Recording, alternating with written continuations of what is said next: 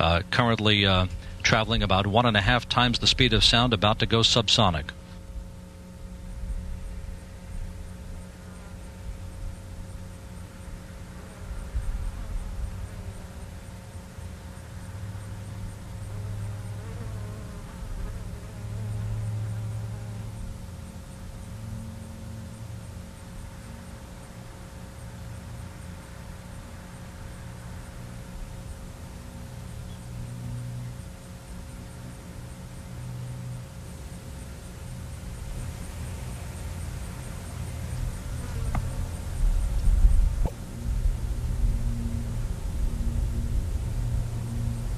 You're looking over the shoulder of pilot Mark Kelly. This is uh, the view uh, from the uh, heads up display camera or the pilot point of view camera looking out of the forward windows on the flight deck of Endeavour.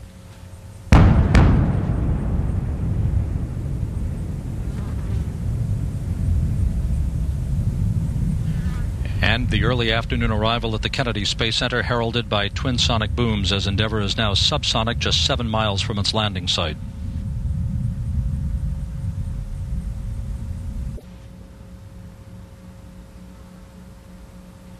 Commander Dom Gorie now back uh, at controls uh, of Endeavour, having yielded uh, the stick to pilot Mark Kelly for about 20 seconds of flying.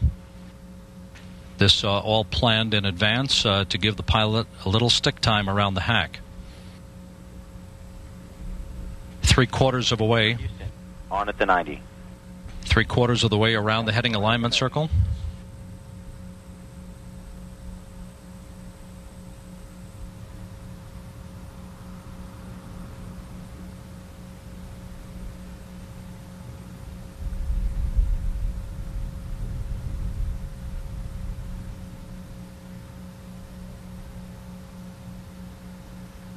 90 seconds from touchdown, everything looking very good for Endeavour.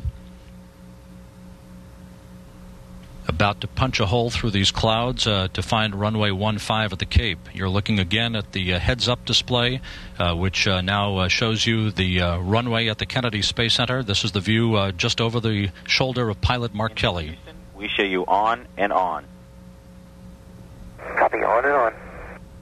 Endeavour perfectly aligned now with runway 15 at the Cape. Uh, you should be seeing the runway uh, appear through the clouds momentarily.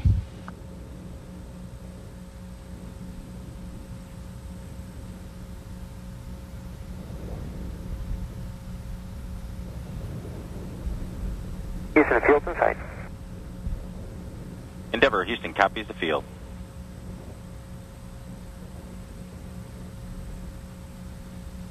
Commander Dom Gorie now flaring up Endeavour's nose.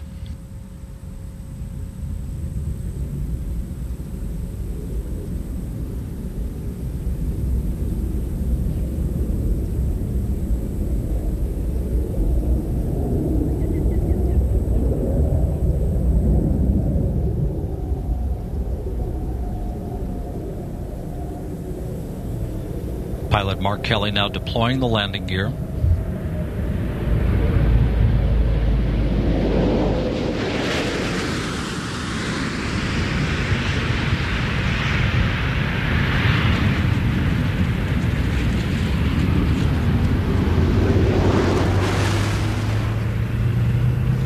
Gear touchdown.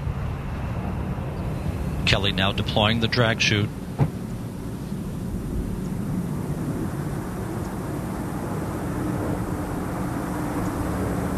Nose gear touchdown.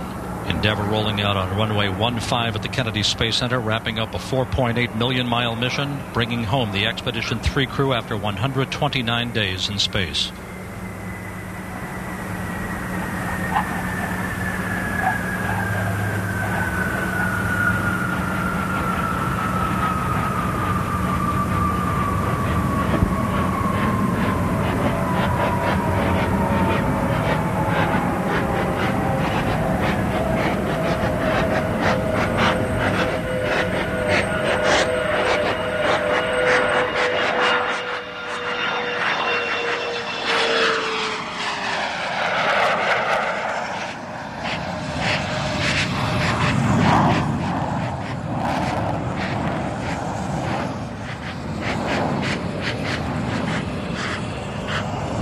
Sierra, real. Endeavor Houston, nice job on the approach and landing there, Dom, to you and your crew. We have no post-landing deltas. We'll meet you on page 5-3. Vegas, we're going to 5-3.